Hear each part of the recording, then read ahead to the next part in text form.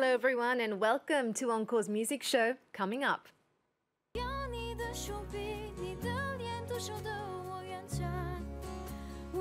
A Mandopop phenomenon, French singer Joyce Jonathan is changing the tune of the music market in China with the release of her upcoming greatest hits album in Mandarin. She's about to embark on a tour around Asia to perform songs of her first three records. The latest, A Place for Me, has landed on the French charts. Joyce Jonathan joins us in the studio.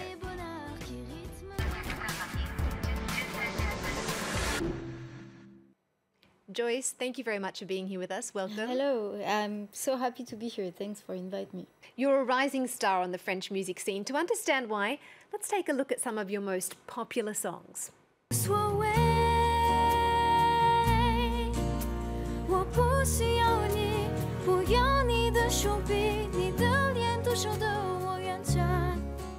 je me dis que c'est toi. Et je sais que tu y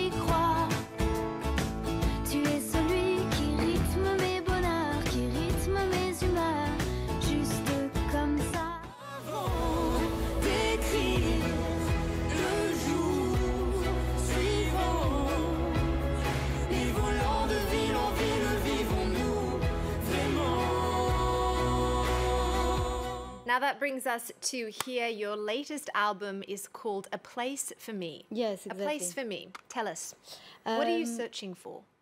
In fact, it's really important to to find uh, his or her place in life. And there is a phrase by Oscar Wilde: "Be yourself; others are already taken." Uh, so it's like even if you're not perfect, you have a lot of difference. It's better to be yourself and to have your difference uh, than to want to be another person. So um, it, it was the idea of the, the name of the my album and also a song uh, of the album named Une place pour moi uh, talks about uh, a guy uh, who didn't make uh, a place for me just before uh, just uh, uh, beside him. You've taken the road less traveled and found a place for yourself in China. Yeah, Which is uh, which is quite interesting. You're going to be releasing your biggest songs in Mandarin. Tell me, what's the China connection? Um, the connection be- begins uh, when I was uh, maybe 12 years. Uh, I um, I uh, It started at home with your parents. yes, exactly. My parents are both speaking Mandarin because they always traveled in uh, in China for their works, and uh, I had chance to uh, to learn uh, Chinese when I was in high school. So when I released my first album in France, I had the opportunity to release also in Taiwan and in China. And uh, when I heard that, I was okay. Uh, I I I want to to release my album here, and I I want to sing in Chinese in Mandarin. And you were lucky because there's a quota in China. There- Yes, exactly. There is only 10 international albums that they, they can be released by year. So uh, I had this chance and uh, I really want to, to, to sing in Chinese. So I tried and now I have a new album uh, who is upcoming in China, a whole album in, in Chinese. So we want to hear uh, you singing now in uh, in in Mandarin. But first, can you sing us uh, uh, "Ça ira" in French, a Yeah. little snippet, and then the Mandarin language version? Yes, okay. So, dis-moi que si tu es là, ce n'est pas juste pour mes jolis yeux. Dis-moi qu'au-delà de ça, il y a d'autres raisons qui te rendent heureux. Dis-moi si tu aimes bien nos paresses et nos matins d'amoureux. Dis-moi que c'est un début, mais que tu vois déjà la suite à deux.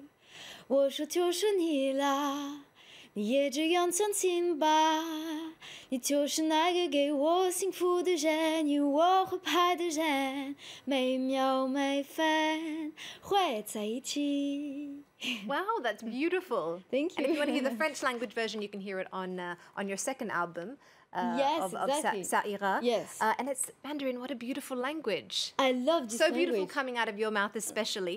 As a you. native French speaker, what were some of the challenges you encountered while learning learning Mandarin?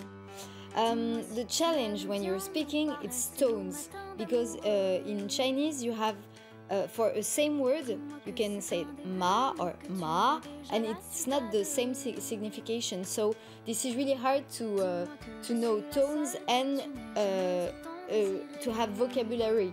Uh, so it's better to sing than speaking because when you're singing you don't have different tones you're just singing There are a few Mandopop collaborations in the vault. Uh, you're releasing uh, something with Dawen, an American Chinese singer who rose to fame for doing covers of Western songs like the Backstreet Boys. Have a listen.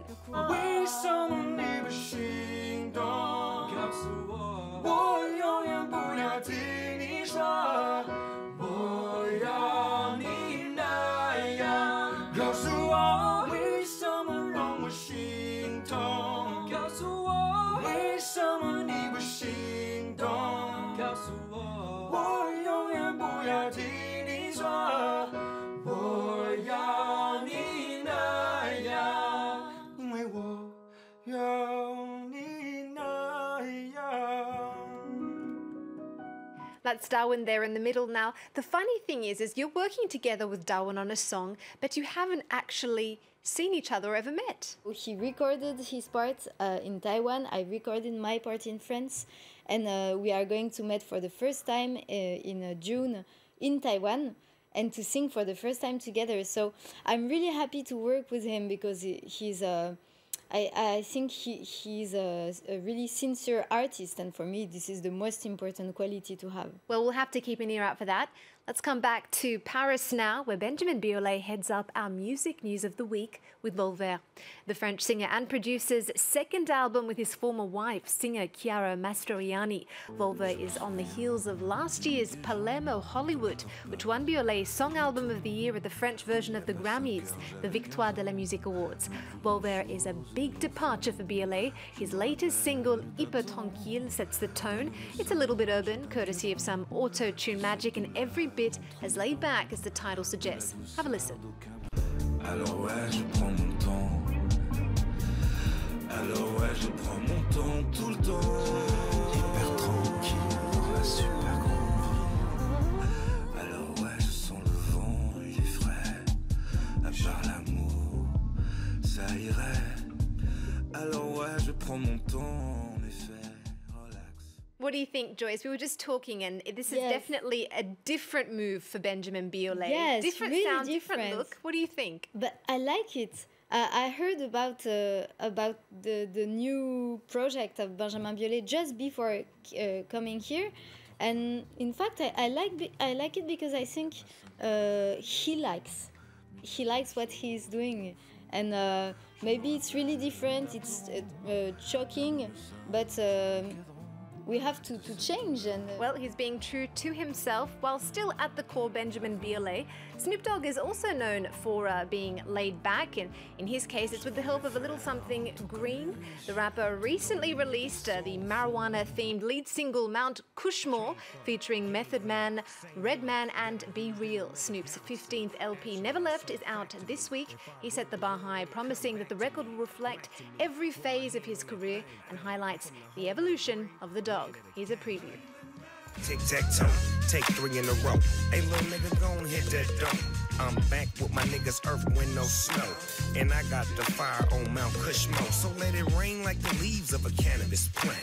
When I say it, I mean it as a matter of fact. Leafs by Snoop, may I take your Hey yo, order? this one nigga that rolled up that smoke. When I hit the weed spot, my pockets go broke.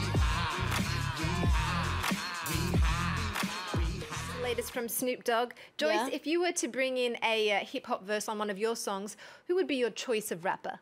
Eminem. Eminem. Yes. Classic there. well, let's end on a different note. Yours, if you want it. The latest from American country music trio, the Rascal Flatts. They're out with their 10th record, Back to Us. Are you a country fan, Joyce? Country music? Yes, yes, I love. It's uh, you want to be in desert of uh, America when you're you're listening country and and I, I love the first album of uh, Taylor Swift, uh, which is a, a country style.